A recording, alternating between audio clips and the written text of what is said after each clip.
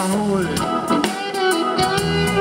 Jsem Radek a je mi 27 let.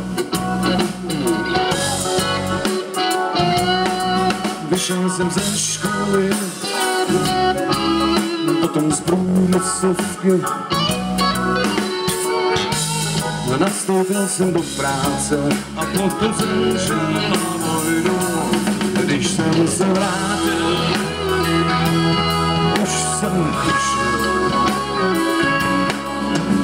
že do práce půjdu jenom na krátko. Totiž no na vojně jsem hodně přemýšlel, a na konci už jsem věděl,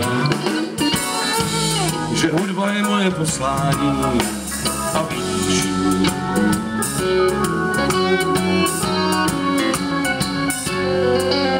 tak ahoj, jsem Radek.